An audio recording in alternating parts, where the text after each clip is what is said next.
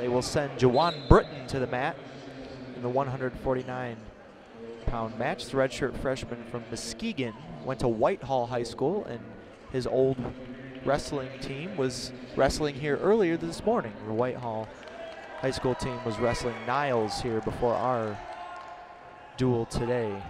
I walked in and I saw the Whitehall had the Wisconsin W, and I said, they, they're already wrestling?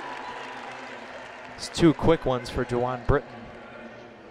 Was 9 and 9 this year, but in the comeback victory for the Spartans of Friday night in Bloomington, Jwan Britton was the one that was the first win. He started the rally of one of five freshmen to win in Bloomington Friday night, which was just a remarkable, remarkable job by this team as Cole Martin, his opponent, picks up an escape. Martin, the redshirt sophomore from Lancaster, Wisconsin, one of the many guys who come from Wisconsin on this team, was pinned by Michigan's Malik Amine on Friday and finished seventh in the Big Ten at 149 last year. Head inside single, knee pull, switches off to a double, peeks his head out, and picks up his first takedown, giving him the 3-2 lead. Very fast pace here to start in 149. And Britton looking for a switch. And Jwan Britton picks up the escape to even things up at three.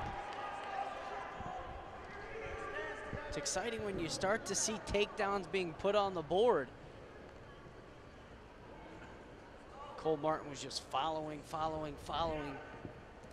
It was just that little bit of hip separation that Britton needed to pick up the one point for the escape to tie this match at three. So the opposite of our last match where we were scoreless till the third period. We're off to a quick start here in 149.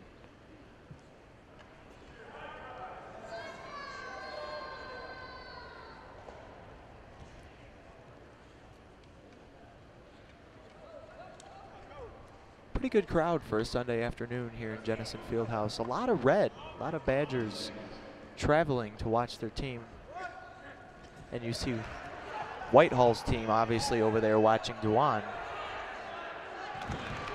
There's a nice takedown from Cole Martin. And immediately back to that switch is Britton to the right side.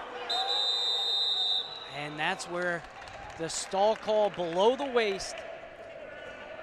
The wrestler in the top position has to work above the hips or you'll see the referee starting to count. And once he gets to that fifth count, you're going to get a stall call. And this where you wonder, is it almost better to look for the reversal and not get the stall call?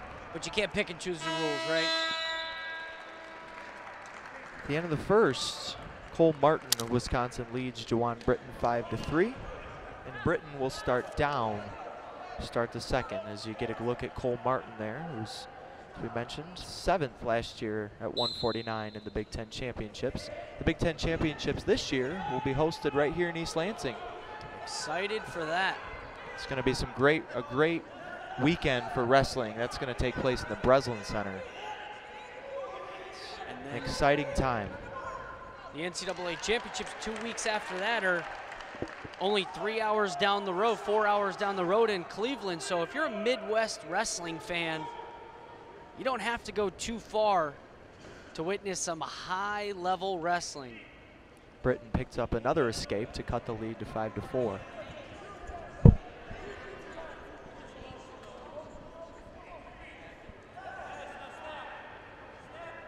Britton working on some fakes, head tap, stutter step from Jwan Britton as he gets back to a tie, looks for a shuck by, then shoots to a high crotch, head on the outside, but gets stopped by Cole Martin's front headlock.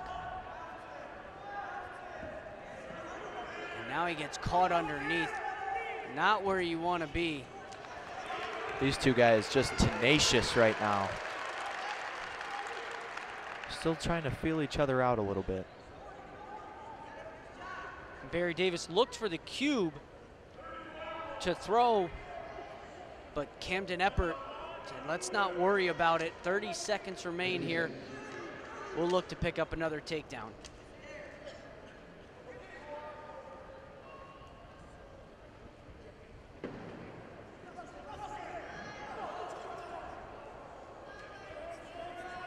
Just stalemating right now. Head to head, the worst position in wrestling. Get some shirts made, right? Better trademark it. As the clock runs out in the second period, a very highly contested 149 bout. Cole Martin, a slim 5 to 4 lead over Jwan Britton. And Jwan will start on top as he as you see there was Jwan, the recipient of the Spartans Outstanding Redshirt Award a year ago. And now into the starting lineup and being very productive for Coach Chandler.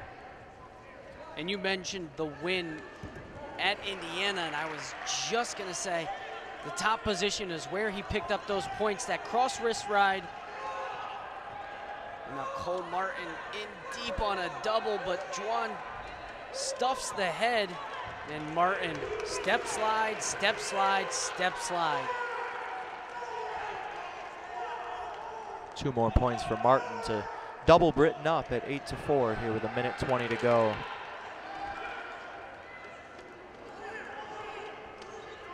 Riding time currently not a factor, sitting at 37 seconds in favor of Cole Martin.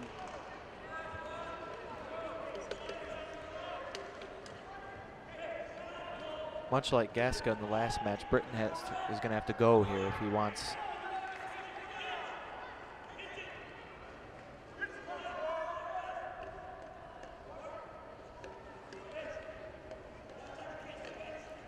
And I mentioned at 133 pounds with Lance, or Jen Lons,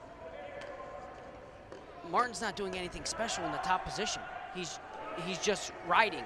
That's all it is, is riding, he's coasting, he's floating in the top position. It's an escape for Britton.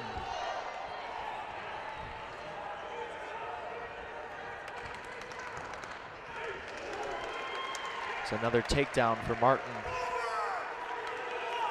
To double them up again at 10 to 5 as we're under 15 seconds to go in this third period.